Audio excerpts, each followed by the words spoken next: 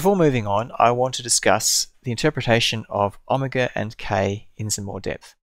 Now, omega is the angular temporal frequency, that is the angular frequency in time, which is 2 pi divided by the period of the wave in time, and k is the angular spatial frequency, so it's 2 pi divided by the period of the wave in space, which is the wavelength.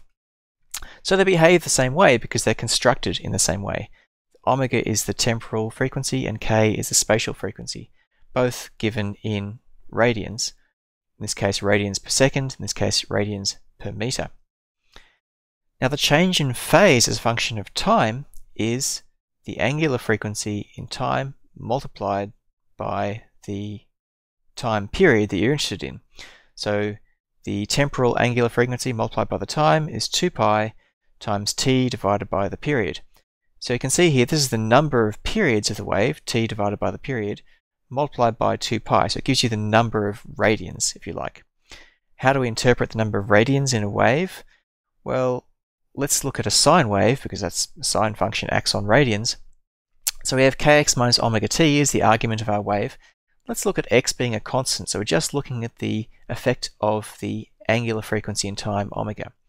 And we choose a point in space, so x is a constant, and we look at the evolution of the surface of the wave at this point, and we see that it goes up and down, and the frequency of this oscillation, the angular frequency of this oscillation is omega, with a fixed point in space. We can do the same trick to interpret the change in phase as a function of space. So kx is 2 pi times x divided by lambda. So the distance x divided by lambda is the number of wavelengths. We take that number of wavelengths and multiply it by 2 pi to get a number of radians. So here we're going to set the time constant. So instead of the wave moving, it's going to be a snapshot, a frozen picture of the wave at a fixed point in time. And now we're going to look at changing the position x.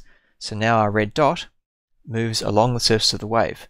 Time is constant, but now we're thinking about changing x.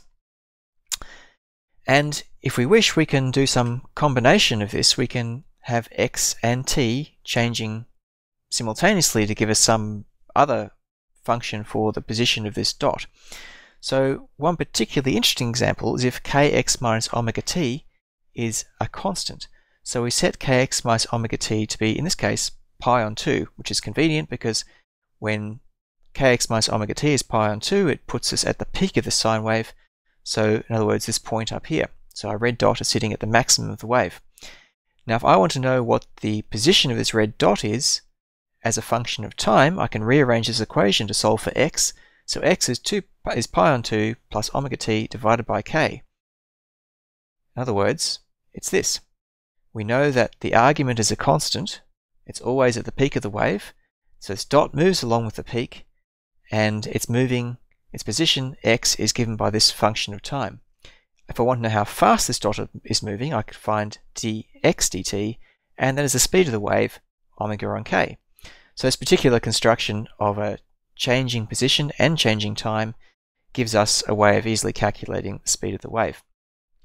So I hope this helps clarify what the purpose of omega and k is and how we use it to understand how a wave is moving and how we understand what a wave does in space and in time in terms of its spatial frequency and its temporal frequency.